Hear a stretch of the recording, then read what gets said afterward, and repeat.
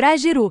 Para que serve e quais os benefícios dessa planta? Com propriedades benéficas e efeitos comprovados científicos, o crajiru é utilizado para tratar diversas doenças.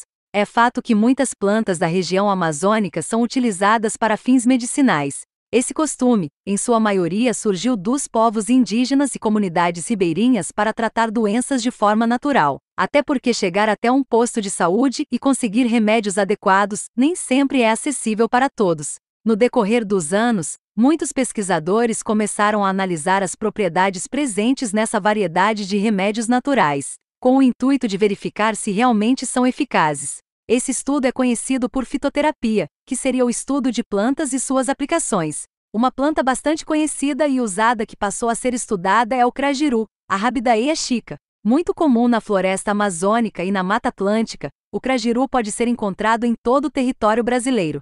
Cientificamente comprovado, o crajiru atua contra a pressão alta. O estudo foi realizado pela Fiocruz.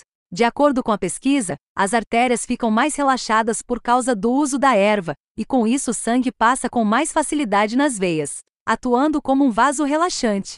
Além de ajudar na pressão arterial, o crajiru possui propriedades anti-inflamatórias, anti-hipertensiva, antimicrobiana, antianêmica, diurética e antioxidante, auxiliando no tratamento dos seguintes problemas: dores intestinais, diarreia e diarreia com sangue, hemorragia, anemia, icterícia, corrimento vaginal, feridas na pele, inflamações ginecológicas, conjuntivite. Como ingerir o crajiru? A forma de usar o pariri vai depender.